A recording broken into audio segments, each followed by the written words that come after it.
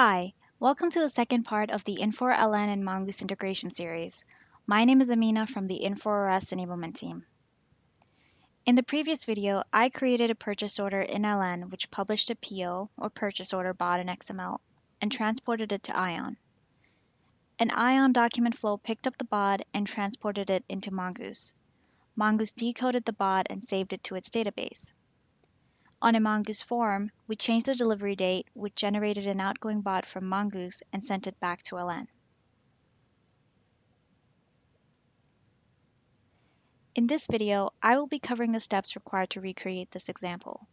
First, we will look at the configuration of Mongoose for communication with Ion, as well as the document flow, followed by the decoding of BODs into Mongoose IDOs, and lastly, publishing a Mongoose BOD.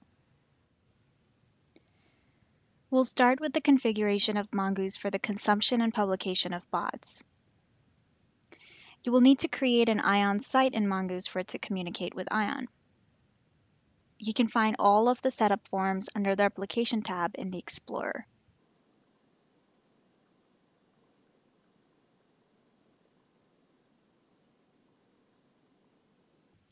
Let's start by opening up the intranets form. I've created an intranet named Infor-Bus with the transport type selected to ESB. You also want to check off external link so that ION can deposit BODs. Next, we will set up our site.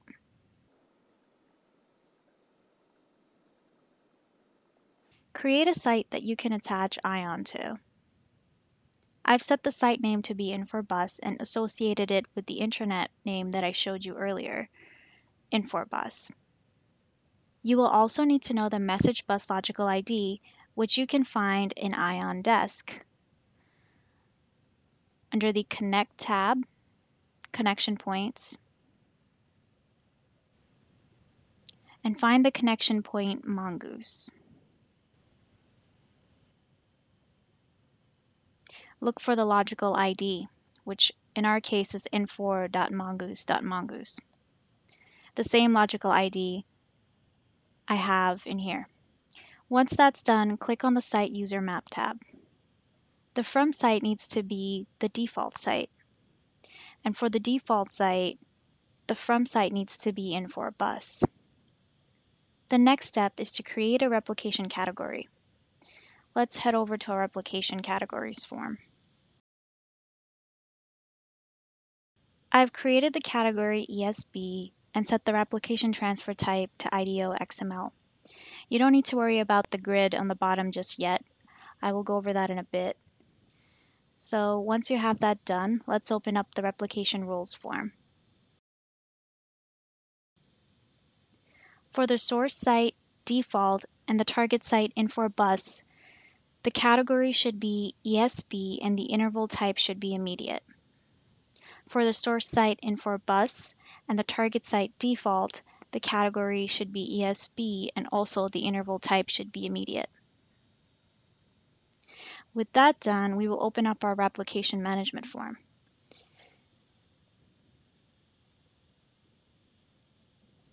We're going to hit regenerate replication triggers. And this will apply all of our settings. Next, we're going to look at the document flow in ION. Under the Connect tab, I'm going to go to Document Flows. Here I'm going to search for the document flow that I created. When LN sends a sync BOD, so there's LN here, it gets redirected to Mongoose. When the user makes a change to the promise date, Mongoose sends over a process.purchaseOrderBOD, and it gets redirected to LN. You must also make sure your connection point has the BOD documents you're working with enabled. So I'm going to head over to connection points. And under the Documents tab, I have process.purchaseOrder and sync.purchaseOrder added to the connection point. And that's it. Mongoose is now ready for BOD consumption. Now I will cover the process for consuming incoming BODs. Let's open the replication document inbox form.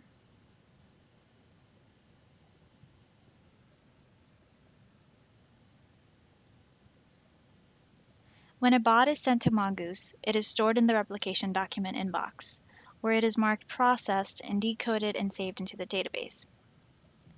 The XML data in the inbox is the BOD that we are looking to read in and translate to the IDOs and tables within Mongoose. You will need to create an IDO to store all the values from this document. I would start by making a list of all the required properties as well as thinking about any sub-collections you might need. So for this example, we have a purchase order header. And for every purchase order header, there are purchase order lines which is a good indication that a sub-collection is needed. Let's look at the IDO collections associated with our BOD.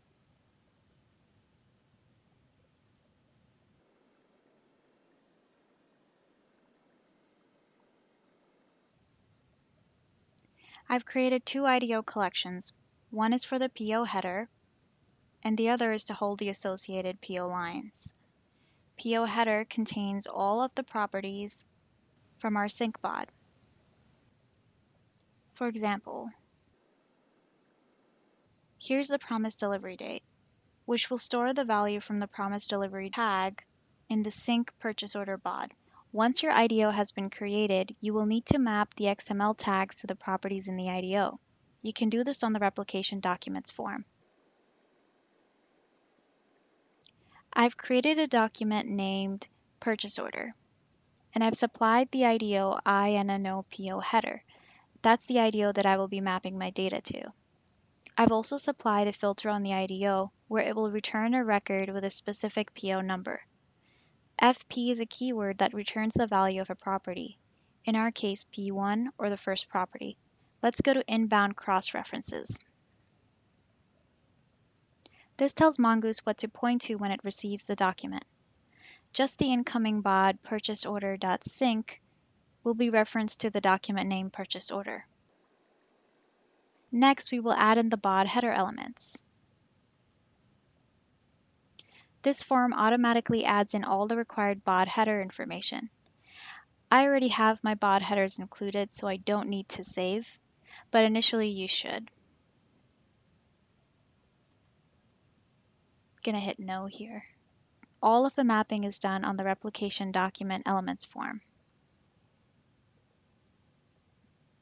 An element specifies the XPath for an element within the XML document. For example, to get the logical ID from a BOD, you will need to know the XPath to grab it. You'll notice the keywords BOD verb and BOD noun. Mongoose will automatically supply these values. For the logical ID tag, we will store its value in the property logical ID from our IDO. The value type that I've selected is property tag because I want to save it to a property. And I've also supplied the property name, which is logical ID. If our XPath has any attributes, we can add them under the Attributes tab. I've done this for the action expression tag So if we go back to our inbox, the action expression tag has an attribute called action code, which I've supplied in my elements form.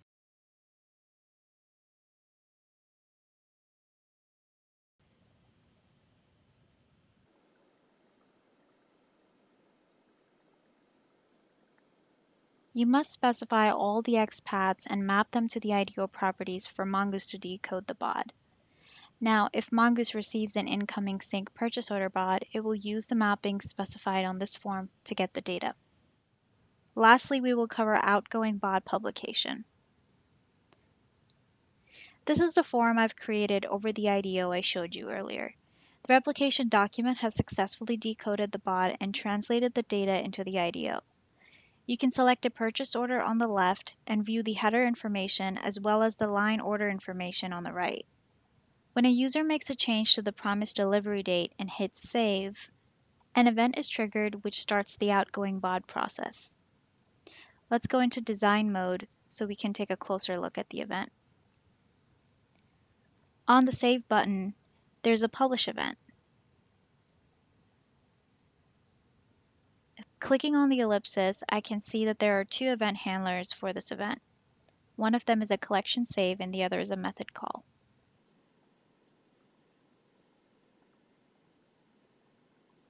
This method call is to a stored procedure that triggers the BOD generation. The stored procedure takes in a parameter that is a function name. This function name is specified in the replication categories form. You will also need to pass in the data key mapping, which is the PONUM property for our example. For a more detailed explanation of this method call, refer to the Mongoose administration guide. So let's take a look at this function defined in the replication categories form. Here it is called trigger purchase order process SP.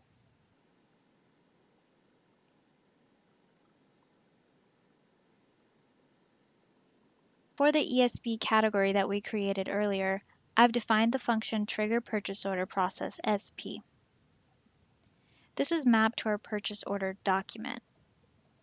So let's open the replication documents form.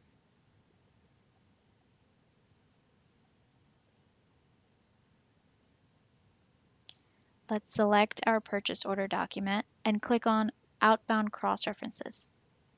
Here we've mapped the function trigger purchase order process SP to the document name purchase order. For the BOD verb, outgoing BODs will always be a process BOD. And the data key source is our IDO name, with our key column list as our primary property PO number, or PO num.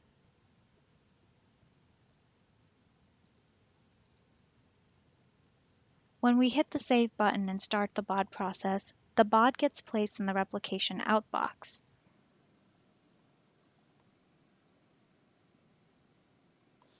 As you can see, the last outgoing BOD was the BOD we created in our previous video with the promised delivery date we provided.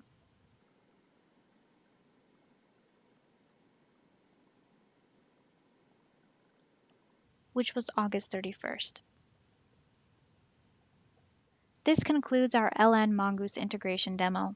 For more information regarding this project, as well as some of the BOD documents used, you can visit the Mongoose portal. Thanks for watching.